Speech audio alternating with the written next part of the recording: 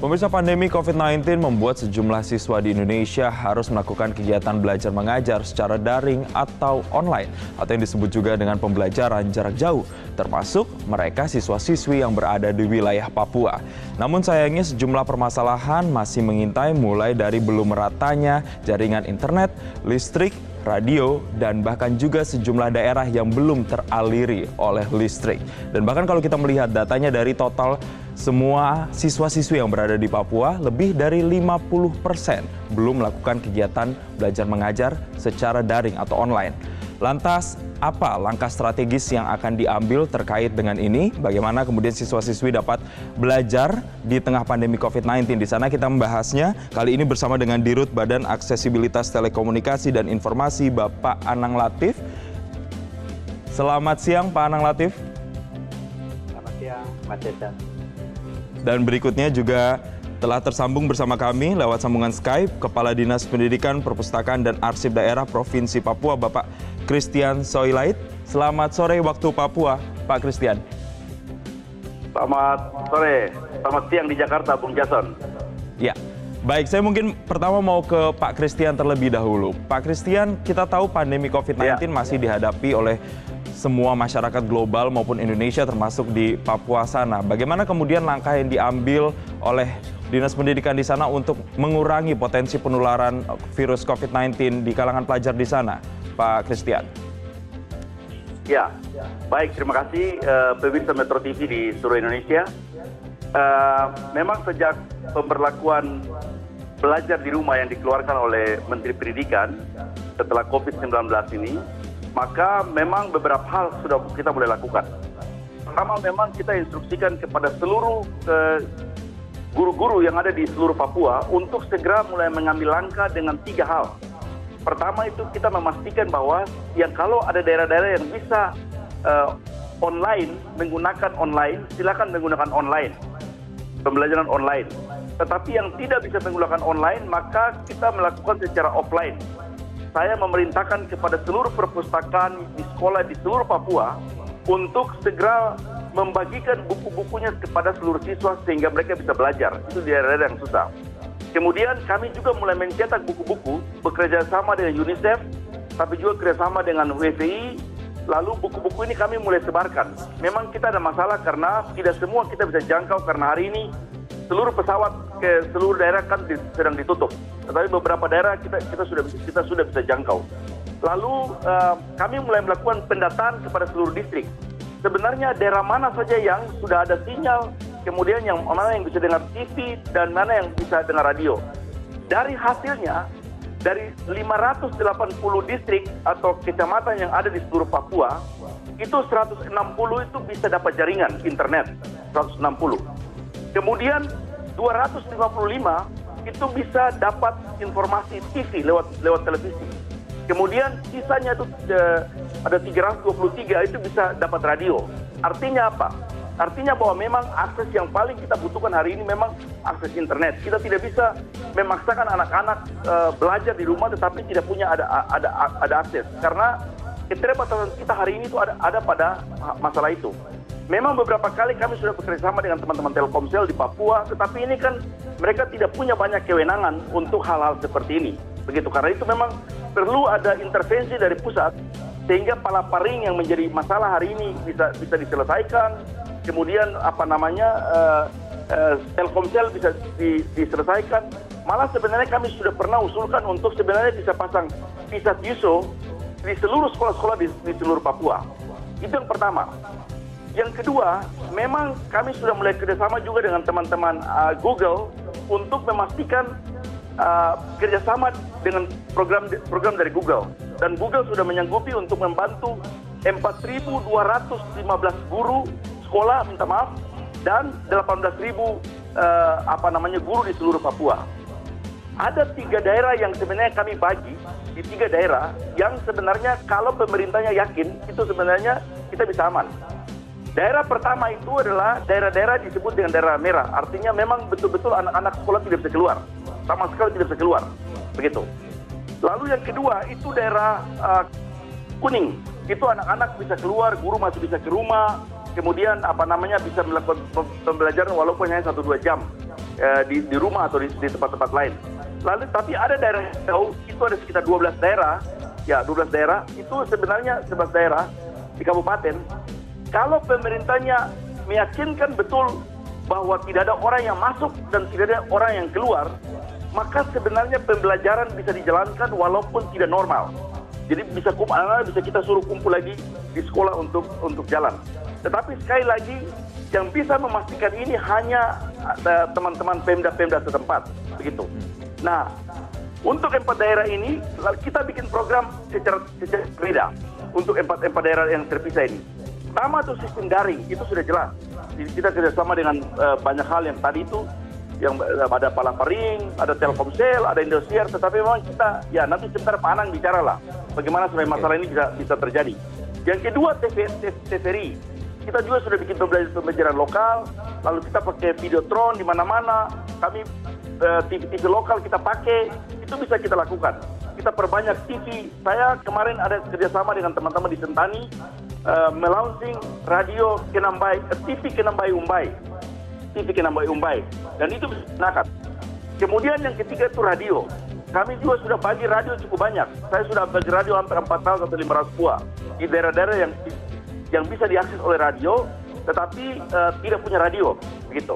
Okay. Lalu offline, kita juga sudah membagi buku-buku. Tetapi masalah paling besar memang hari ini ada pada jaringan jaringan. Oke. Okay. Ketika jaringan ini kita bisa selesaikan sebenarnya yang prasarana lain secara pelan harusnya kita bisa selesaikan. Baik, okay. Pak Christian, saya mau itu, ada Oke, saya mau ke Pak Anang uh, untuk menanggapi apa yang uh, sudah dikatakan oleh Pak Christian tadi. Ini juga uh, perlu intervensi dari pusat, Pak Anang. Terkait dengan jaringan ini, bisa dibilang di sana ada beberapa yang belum jaringan internetnya uh, dirasakan di sana. Ini juga menghambat akhirnya proses belajar mengajar di sana. Apa langkah yang kemudian akan diambil terkait dengan spesifik jaringan internet ini, Pak Anang? Ya, Mas Jason, ini memang eh, katakanlah kita semua ya bangsa ini memang terkaget-kaget ya adanya situasi pandemi COVID-19 ini.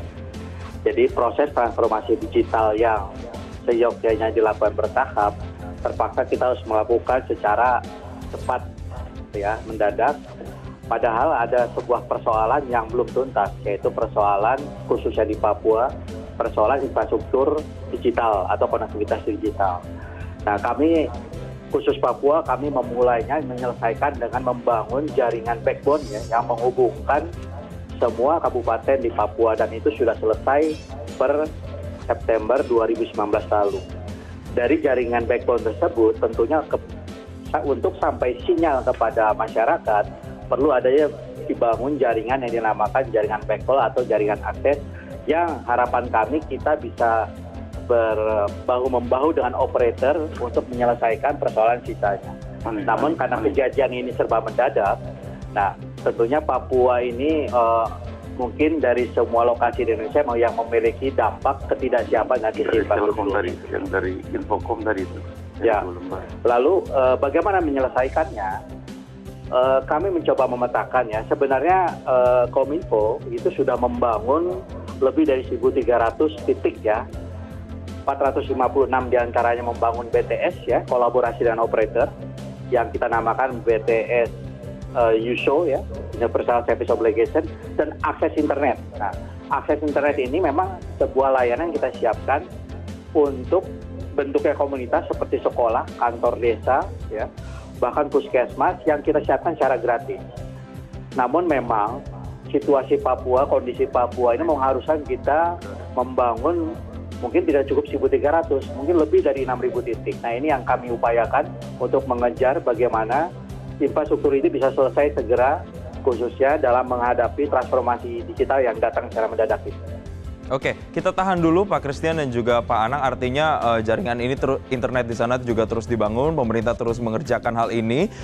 namun yang juga tadi Pak Christian uh, sempat singgung adalah selain internet, ada juga jaringan TV dan radio yang juga bisa dimanfaatkan. Namun yang menjadi pertanyaan adalah bagaimana implementasinya, seefektif apa di sana uh, untuk bisa mendukung kegiatan belajar mengajar siswa-siswi di sana. Kita akan bahas Pak Anang dan juga Pak Christian usai jeda. Pemirsa tetaplah bersama kami.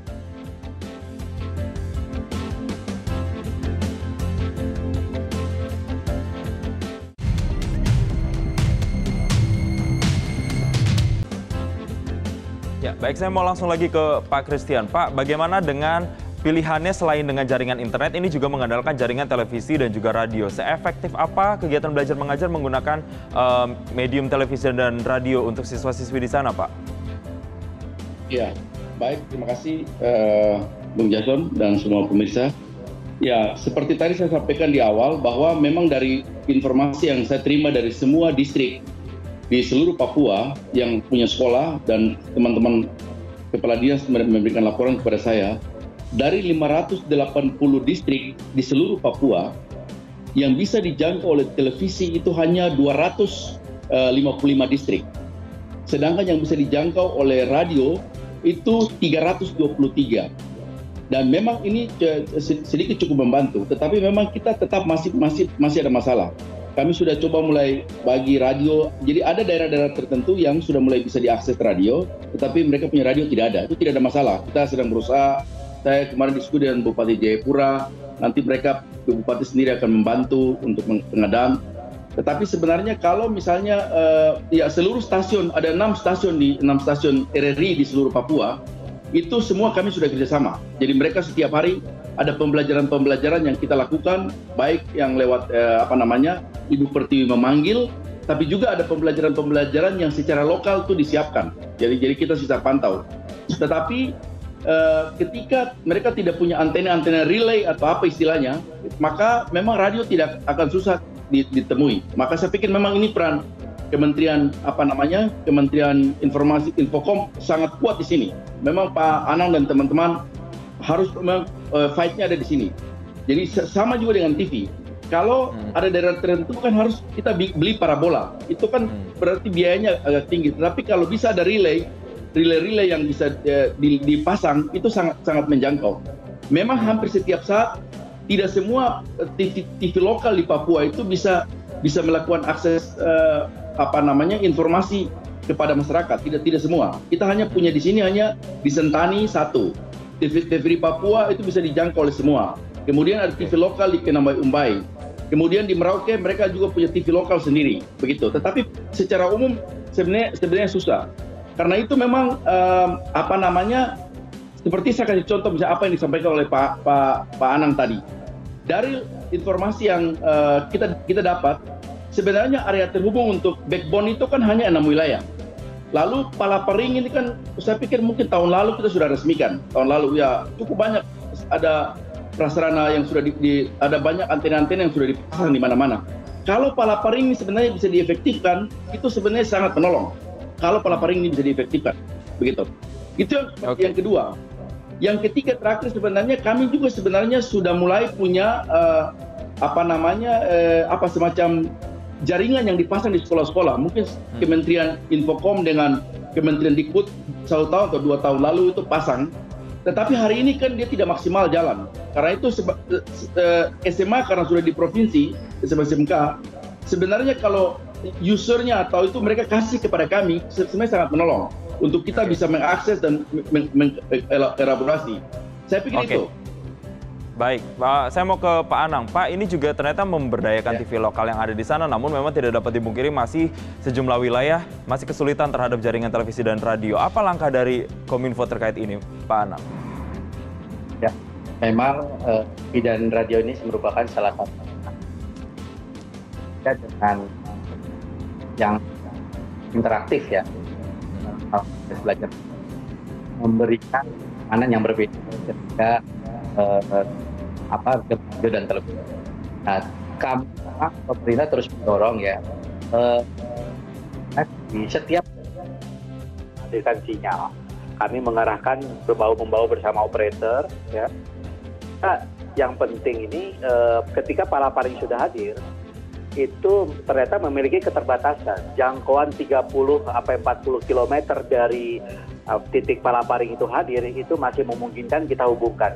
Tetapi keunikan Papua bahwa banyak ya desa-desa atau distrik-distrik yang lokasinya berada di pegunungan sehingga tidak lagi efektif menggunakan Palaparing harus menggunakan satelit. Nah, alhamdulillah Kementerian Kominfo sudah menyerap teknologi satelitnya yang sebenarnya rencana semulanya akan kita gelar di awal tahun 2020 ini karena proses apa karena pandemi dan PSBB inilah sedikit uh, tertunda. Nanti dengan adanya ini tentunya kami uh, dalam jangka waktu pendek menyelesaikan melalui menyiapkan sinyal-sinyal Wi-Fi ya yang ya. pada sekolah-sekolah tersebut dengan melalui teknologi satelit. Baik. Pak Anang dan juga Pak Christian kita harus tahan dulu. Nanti saya akan tanya lagi apa yang kemudian kalau pemerintah dan pemerintah setempat juga sudah melakukan berbagai upaya, apa yang harus dilakukan oleh uh, segenap uh, para pengajar di sana dan juga para siswa-siswi untuk agar kegiatan belajar mengajar ini tetap berjalan. Kita akan bahas usai jeda. Pemirsa yang ke mana-mana, kami kembali sesaat lagi.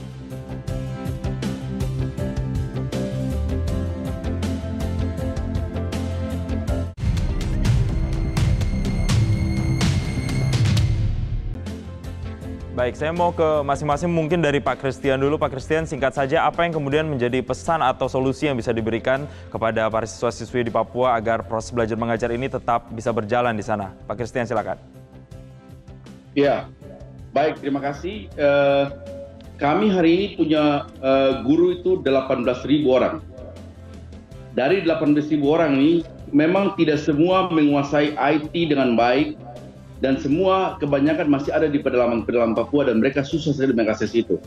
Karena itu di dalam satu bulan terakhir kemarin kami sudah mulai ambil langkah-langkah untuk menolong semua para guru sehingga proses belajar mengajar tetap harus berjalan. Pertama itu kita mulai melakukan pelatihan untuk menguasai hal-hal yang berkaitan dengan IT.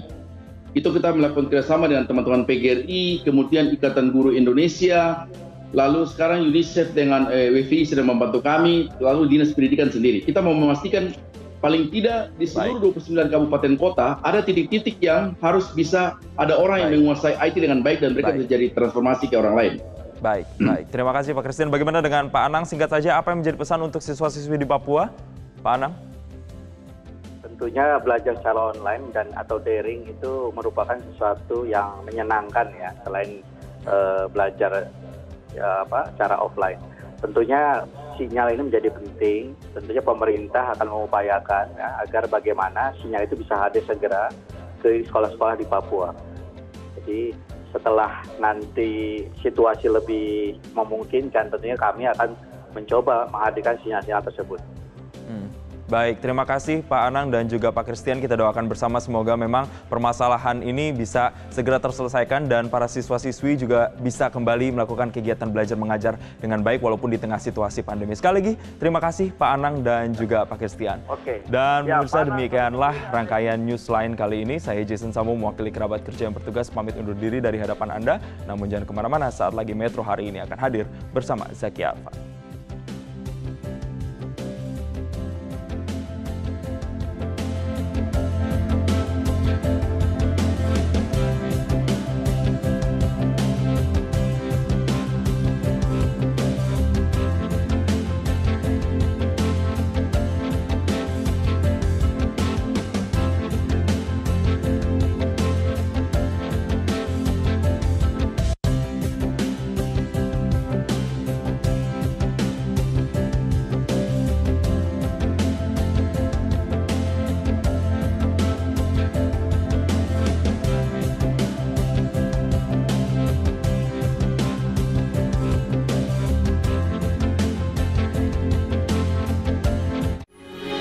Metro TV, knowledge to elevate.